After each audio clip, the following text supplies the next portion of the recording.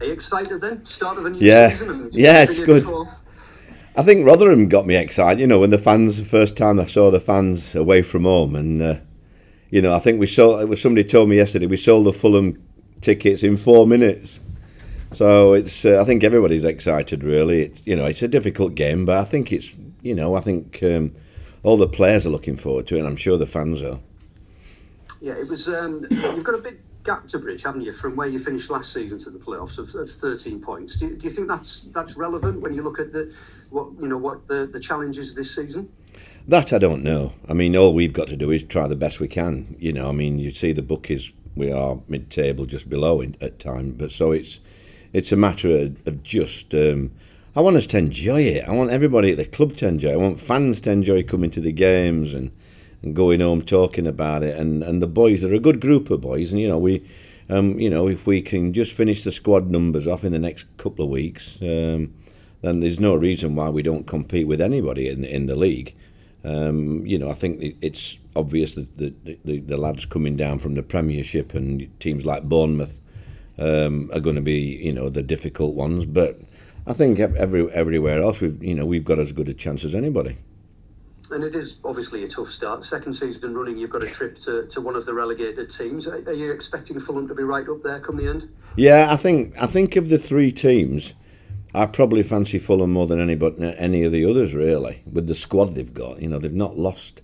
They've lost the loanees and everything, but um, they've kept the, the nucleus of the squad. It's a, you know it's a decent squad, but hey, we've got a decent squad, so uh, you know that's uh, it'll be difficult for Fulham.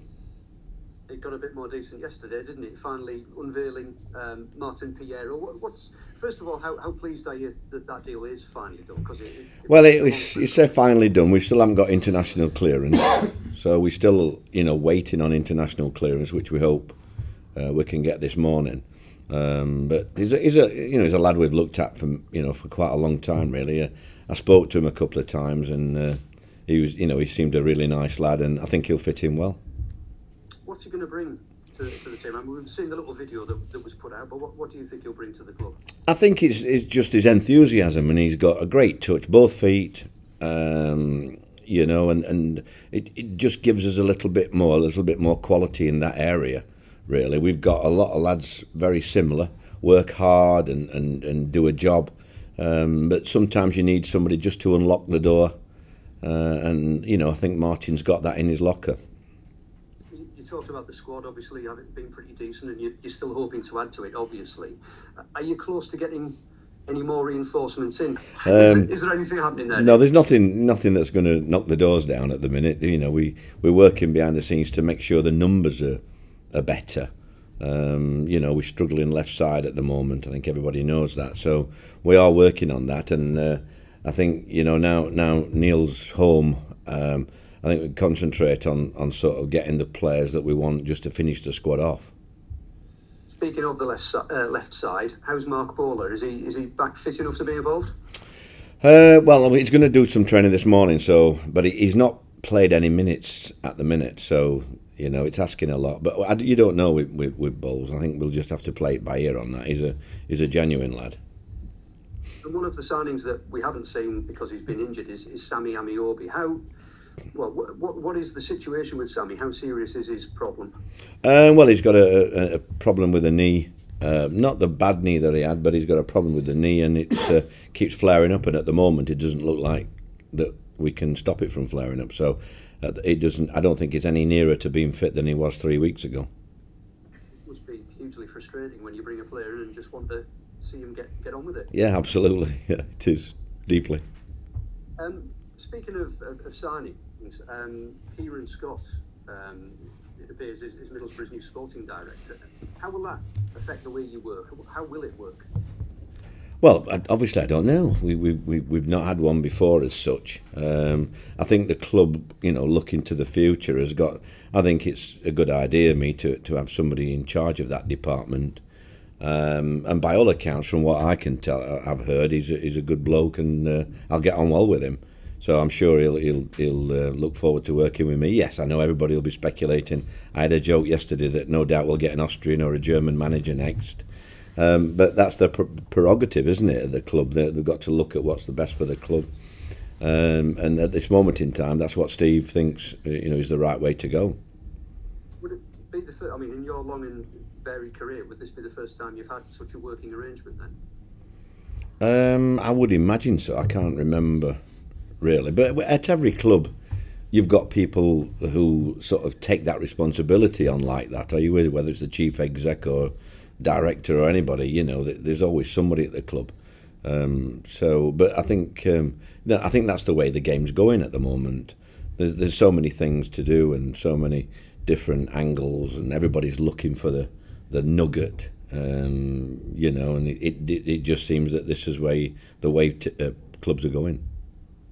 And just lastly, um, ahead of this weekend, how just how difficult a division do you think this will be, or how competitive a race do you think this will be this year? Because every year, you know, people look and go, oh, it's one of the strongest championships for years, or this one's a bit weaker. What does this one look like to you? Yeah, one of the strongest. I think one of the strongest for quite a while. Um, but listen, I said that every year. I mean, you go through the fixture and you think, is is that a good run of fixtures? But how can you tell? You know, it's the sometimes it's the worst run of fi- the easiest fixtures that undo you. So it's. Uh, I, have got past that now. With it, I think every game's difficult, and we just have to be ready for every game to be prepared as best we can, and uh, and try and improve the squad in the next three weeks and give us options that we've not got at the moment. Um, hope that we don't get any injuries in the next few weeks till we till we get a few in, and um, and and just give it our best shot and enjoy it. Like I say, we've got to enjoy it. I mean, youngsters have got I've got to enjoy it because at my age, I've got to enjoy every minute and. Uh, I want the, the fans and the players to do the same. Great. Well, good luck at the weekend and for the season. Cheers. Thank you very much. Thank you. Who's Dawn? Dawn, where are you, Dawn? Oh yeah, I've got you. Neil. Hi, Dawn. You? Hi, love. Hello. Have you have you had a good summer? It's been all right, actually. Yes, I had a nice a nice few weeks relaxing. I've not done that for a, almost a couple of years now. Really, we've not had time, have we? What you've made of the um, the pre-season so far? I think it's been a good a good pre-season. Really, we, we've got over what we wanted to do. We've mi- we've had a mixed in with the fans as well, and I mean they must all be. I haven't had many letters in yet, but I'm sure I'll get thousands of letters in from the fans that went to Cornwall thanking me for that week's weather. Uh, couldn't have got a better week's weather, could they, in Cornwall than we had that week? Absolutely. Um, are you as excited by the signing of Martin Payero as, the fans seem to be?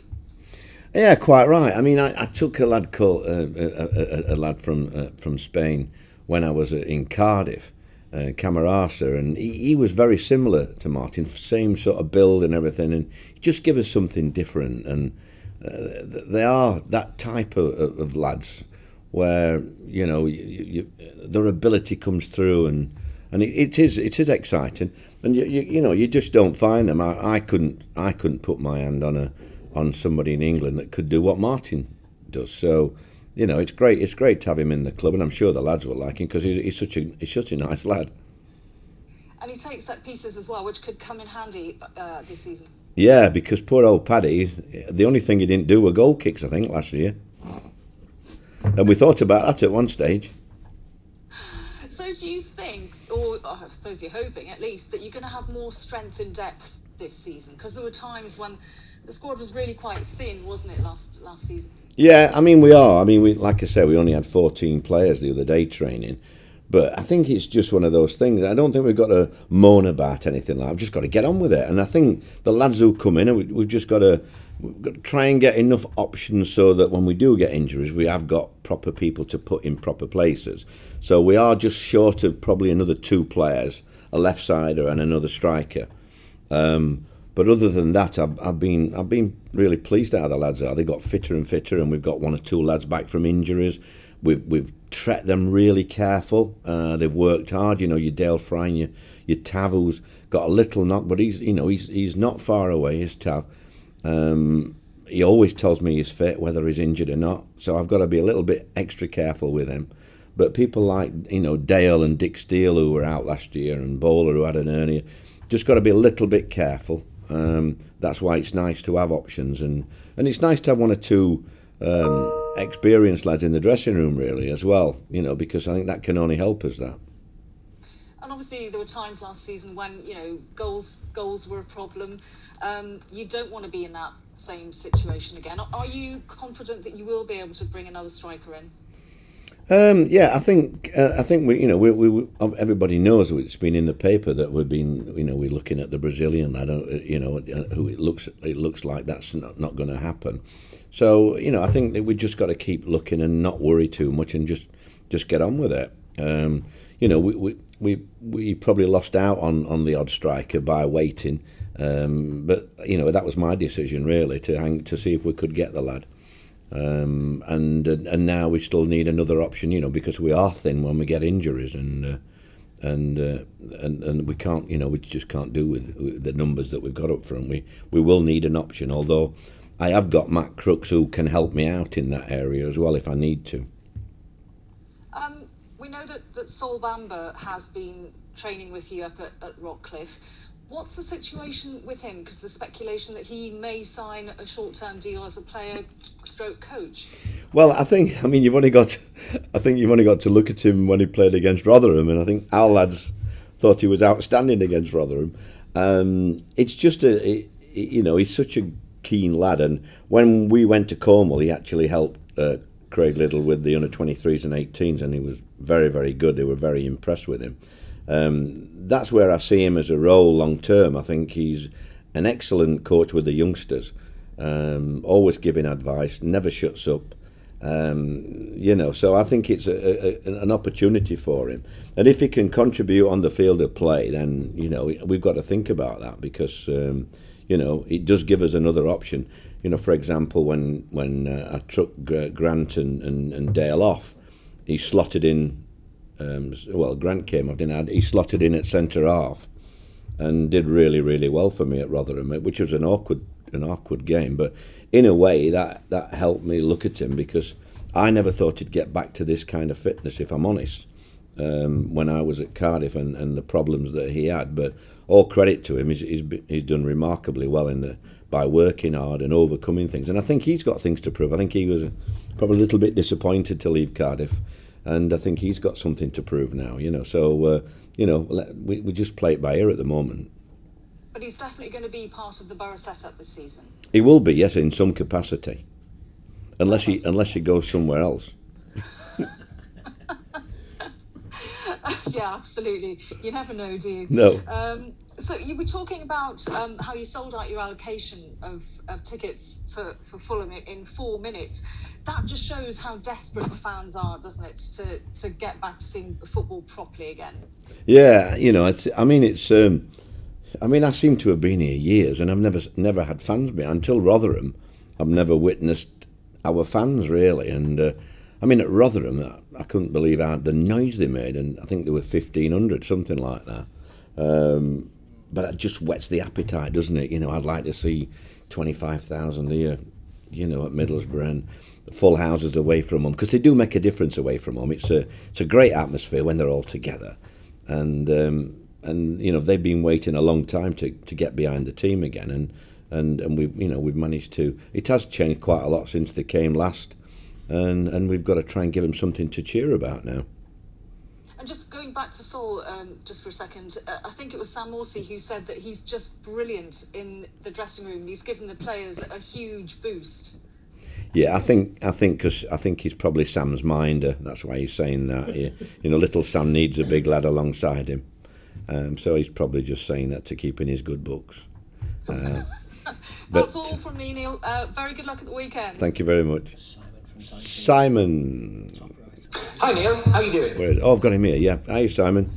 Um, just picking up on the fans' idea there. Um, how much are you just looking forward to the, the idea that, that it is going to feel a bit more like football as you know it, as we know it, with with stay, full stadiums, with a bit of stick flying around, with that yeah, I think I just think we need it. I mean, I, you know, when I read today about Messi, for example, I mean, Messi shouldn't be leaving Barcelona without the without the fans saying goodbye to him. I mean, I just thought, well, how can that happen?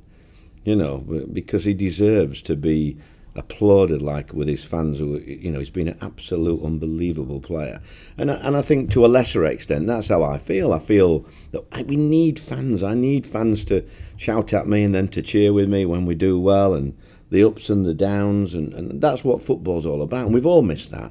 I mean, mentally, it's been it's been a the pandemic's been a real bad time for a lot of people. And yeah, all right, I, I do get the the other side of the coins where they want to vent their anger at me because I don't know what I'm doing and what. But you've you've just got to just accept that. I'm afraid it it gets that out the system, and it's a it's a it's a healthy situation. I'm not sure about the social media things, but you know, in general, I think it's it's just great for the fans to be planning coming to the ground and and seeing the mates and sit next to this one or him in front's always standing up and blocking my views on you know and tell a steward and all these complaints and things. So it's I think it's good. I just think it's great to have them, have them back and uh, more like football as we known it really. Um, just another thought about the championship. People always say it's like the tightest league in the world, but you, you look this year and there's been teams dealing with transfer embargoes on one hand, and on the other hand, you've got Fulham spending 12 million pounds on a player. Um, it, it seems very diverse in terms of resources this season. Well, I think when you come down from the Premiership, you know you've got, you know, uh, and I think as, the last few years, or last, last year in particular, the teams that kept the team intact and spent and invested in the Championship were straight back up. So I think Fulham are just saying, you know, that, that I mean, they they bought uh, one or two, haven't they? Really, you know, they they bought the lad Wilson from Cardiff, who was very very good. We you know we asked about him, but um, you know they I think they paid 12 million for him, didn't they? Um, and then you, they're looking at the Brazilian forward who we've been after, and and uh, I think somebody's tapping our phones, if I'm honest. um, final one, really. Um, last last pre-season, I think just because of circumstance, was a, was a bit sort of squashed. Do, does it feel better this time? Do you feel that everyone's a bit more ready going into this? Well, I just think with the fans, it's it's getting back to normal. I think this is how you should feel. Everybody thinks at this stage that your team could have that fabulous season um, and get promotion, and the grass is always lovely and green, and you know, you, you, everybody's got to be optimistic, and that's what football gives you, and especially in the championship, because you know the bottom team beats the top team every every other week, so there's no divine right, and we're looking forward. I, I always like it when we're not favourites, and we're not, you know, we. I think we we're, we're better when we're a little bit underdogs, um, because we've got that type of lad in in the club. Um, but like I say, we've got a decent team.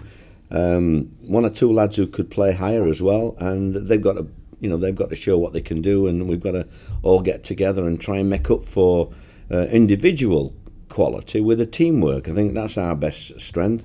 Uh, we've got a decent team, and um, I think the you know the dressing room spirit's got to take us as far as it can.